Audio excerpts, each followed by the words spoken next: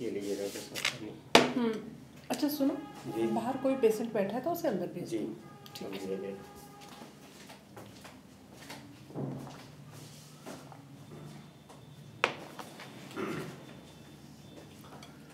Hello doctor. Hello आइए बैठिए।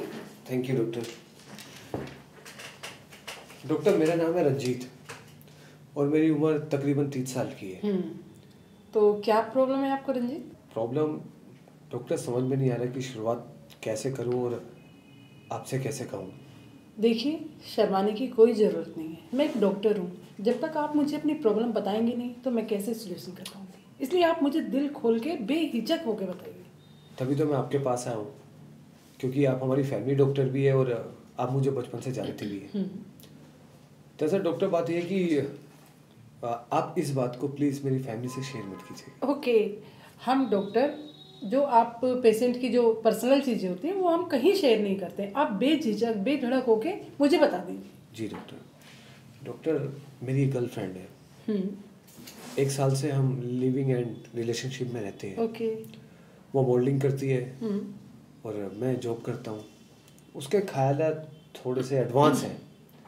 Advance मतलब कैसे कहूँ? दरअसल ये कि ड्रिंक वो भी करती है और कभी कभी मैं भी कर लेता हूँ। हम्म, और जब भी मुझे समय मिलता है तो मैं उसके साथ नाइट स्टे भी कर लेता हूँ। Okay okay. अभी तीन चार महीने से एक सिलसिला चालू हो गया है और वो मुझे ऐसा लगता है कि ऐसा ना हो कि मैं किसी तकलीफ़ में पहुँच जाऊँ। हम्म, बताओ कैसी तकलीफ़? बात यह कि आपको तो पता है एक लेडीज़ को माहवारी डेट तो आती है। हम्म, अभी थोड़े दिनों से क्या है कि जब भी उसको डेट आती है तो मुझसे सेक्स करने के लिए कहती है। वैसे भी करती है हम नॉर्मल तो करते ही है। लेकिन जब भी हमें समय मिलता है हम वक्त बिताते हैं तो उसकी डेट होती है तो मुझसे कहती है नहीं करो। और सबसे बड़ी प्रॉब्लम ये है कि वो मुझे कंडोम यूज़ नहीं करने देती। और जब मैं उसके साथ वो सेक्स करता हूँ तो आप यकीन मानिए मैं अपनी आत्मा अपना शरीर सब कुछ मन मार के करता हूँ। मुझे ऐसा लगता है कि वो बीमार ना हो जाए मैं बीमार ना हो जाऊँ। लेकिन उसने ऐसी लत लगा ली है कि डॉक्टर बस आप बताइए इस प्रॉब्लम का बताइए कैसे निकलूँ इस प्रॉब्लम से? देखिए कई बार क्या होता है रंजीत कि औरत को जब पीरियड होता है तो उसके अंदर एक एक्साइटमेंट हो जाती है। उसको एक उस वक्त उसे फ़िज़िकल करने की बहुत ज़्यादा नीड महसूस होती है। जी। कई औरतों के अंदर होता है इस तरह का लेकिन अगर देखा जाए तो पीरियड में सेक्स करना कोई बुरी चीज़ नहीं है। और ना ही कोई हो कि भी आप नहीं कर सकते। कर सकते हैं लेकिन उसके लिए आप लोगों को प्रिकॉप्शन लेना चाहिए। आप कॉन्डम यूज़ करें और सेक्स करें इससे कोई प्रॉब्लम नहीं होगी।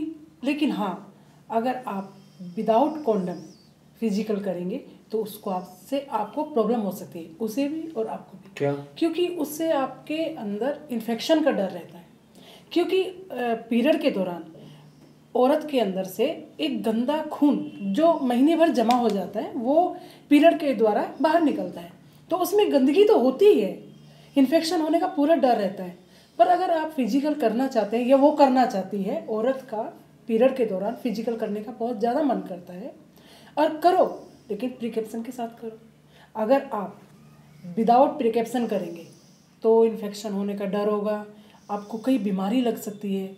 इनफैक्ट वो लड़की कल अगर उसकी शादी होती है तो माँ बनने में बहुत दिक्कत आ सकती है। डॉक्टर वो प्रिकॉशन यूज़ नहीं करती उसको वो कहती है कि मुझे इससे मज़ा नहीं आता। देखो रंजीत हर चीज़ में मज़ा ले ये ज़रूरी तो नहीं अपनी बॉडी का भी ख्याल रखना ज़रूरी है। क्योंकि अगर आपका स्वास्थ्य ठीक रहेगा तभी तो आप सारी चीज़ें इंजॉय कर पाएँगे। जब आप तरह तरह की बीमारियाँ लगा लेंगे आप जानते हैं इससे एचआईवी का बहुत खतरा होता है। डर बना रहता है, क्योंकि वो साफ़ ब्लड नहीं आता है। वो एक औरत के अंदर जमा हुआ गंदा ब्लड बाहर निकलता है, जो उसके पेट को, उसके पेडों को क्लीन करता है। और ऐसे में अगर आप विदाउट प्रिकॉप्शन के सेक्स करेंगे तो आप खुद सोच सकते हैं, समझदार हैं आप तो उसे समझाइए। सेक्स करने के लिए पूरा महीना पड़ा है, सिर्फ़ महीने से पाँच दिन आप निकाल के अलग रख दो। उसमें ज़रूरी है कि आप ऐसा करें। सेक्स ना करें फोर प्ले कर सकते हैं। उससे भी तो आपको सर्टिफाइड कर सकते हैं उसे। लेकिन आपको उसे समझाना पड़ेगा। अगर उसे इस तरह की आदत है या उसे लत लग गई है या उसे पीरियड के दौरान सेक्स कराने में बहुत मज़ा आ रहा है तो आपको उसे समझाना होगा। ये सब गलत है। ऐसा नहीं करना चाहिए। अच्छा डॉक्टर मैं एक बात और पूछना चाहता हूँ आपसे। जैसे मैं उसको हम्म। पीरियड के दौरान सेक्स कराता हूँ। क्या इससे वो कभी प्रेग्नेंट भी हो सकती है? नहीं। क्योंकि पीरियड के दौरान प्रेग्नेंट होने का तो सवाल ही पैदा नहीं होता। जी।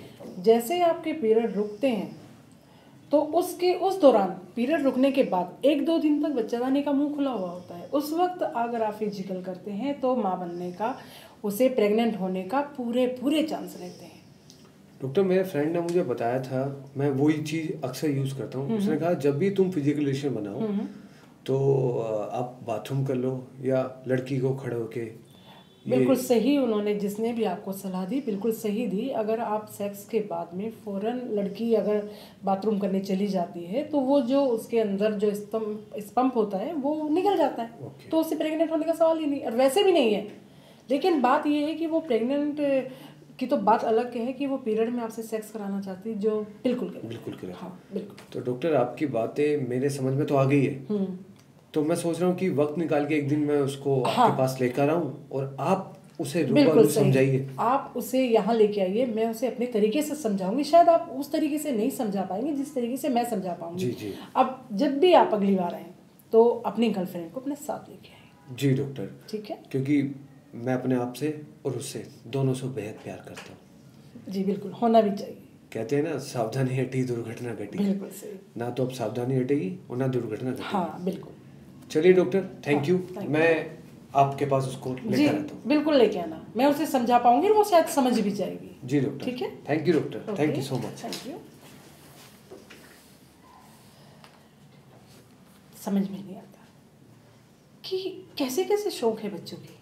अब और कुछ नहीं तो यही देख लीजिए कि पीरियड में सेक्स करना है। अरे बहुत टाइम मिलता है सेक्स करने के लिए। ज़रूरी तो नहीं कि आप पीरियड के दौरान करें। बच्चे शायद समझते नहीं कि इनसे उन्हें बीमारियाँ लग सकती है। बहुत हानिकारक, उनके बॉडी पर इफ़ेक्ट पड़ सकता है। लेकिन कौन समझाए? आजकल के बच्चे।